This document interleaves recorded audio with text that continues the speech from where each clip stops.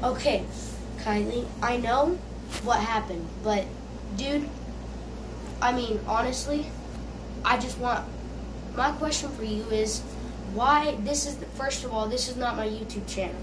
The reason why I haven't been posting any videos was because that my brother grabbed my tablet, went outside and just went and dropped it and just dropped it like like it was garbage. But that's why I haven't been posting, but Kiley, I love you.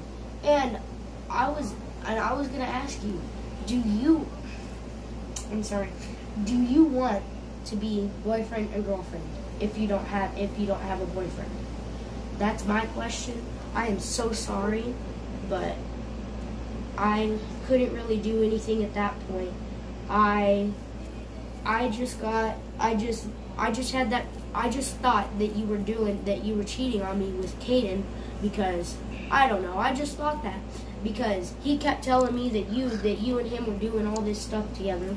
But just saying, Kiley, I love you, but I'll I'll always love you.